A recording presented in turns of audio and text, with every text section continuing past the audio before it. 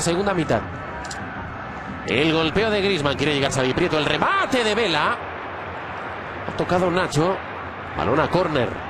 Bueno, pues segunda llegada muy peligrosa de forma consecutiva para el equipo de Arrasate. Ahora generando peligro a balón parado. Peinó Prieto, remató Vela y Nacho mandó a córner. Al golpeo Rubén Pardo. Casi 10 de la segunda mitad. La pone Rubén Pardo. El remate de Anzotegui.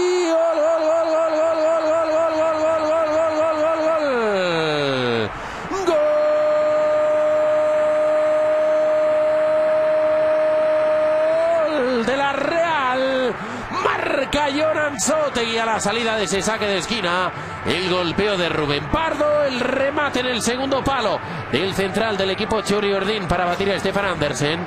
Vuelve a adelantarse el equipo de Iago Barrasate. Marcan Sotegui en Anoeta. Real Sociedad 2.